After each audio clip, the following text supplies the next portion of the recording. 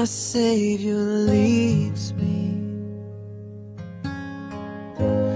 Who have I to ask beside?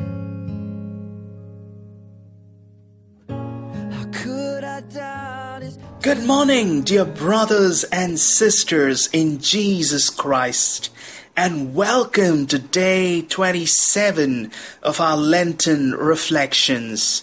In today's gospel passage, we hear about this Roman official who comes to Jesus seeking for healing for his son. And the Lord says to him, Go home, your son will live. The man put his trust in the word Jesus spoke to him and started for home. The gospel today highlights the importance of trust. The Roman official put his trust in Jesus even before there was any sign of a cure. Jesus demands this kind of trust, this kind of faith before ever working a miracle. Trust is always risky. It entails a certain self abandonment, a certain yielding of control, a certain blind leap. Yes, it's a leap into the unknown, it's a leap into the dark. It's called the leap of faith. Trust is never easy. The trust which Jesus demands of us means letting go of our prejudices, our, our pride, our sin. It means placing our absolute confidence in the Lord, believing in His unconditional love for us, accepting His word that He will be faithful to His promises. It is the Spirit that inspires us to say, even if I walk through the darkest valley, I fear no evil, for you are at my side. Psalm 23, verse 4. The popular slogan, Let Go and Let God, describes the kind of trust Jesus expects of his followers. All of us struggle with conflicts and problems in our lives.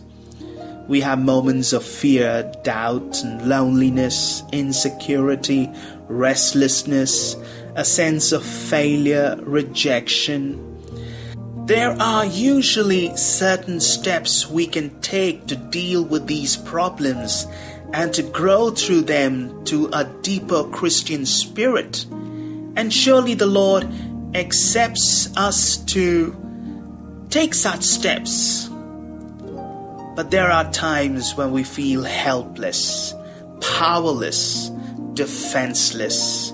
At such times, especially, must we place our trust in the Lord. We must indeed let go and let God. Let us pray. Dear Lord Jesus, when things don't go the way I want, and when I begin to question and doubt, help me to trust in you. Help me, like the Roman official in today's gospel passage, to believe in your word even before I know I have received it. In you alone, O Lord, I put my trust. Let me not be put to shame. Lord, I believe. Help my unbelief. We make this prayer to Christ our Lord. Amen. God bless you.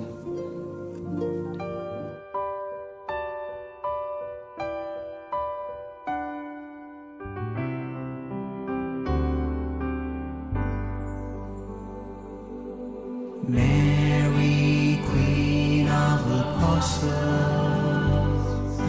pray that every Jesus you'd be transformed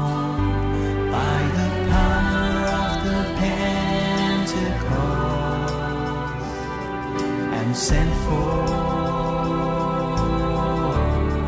to be true missionary disciples of your Son Jesus.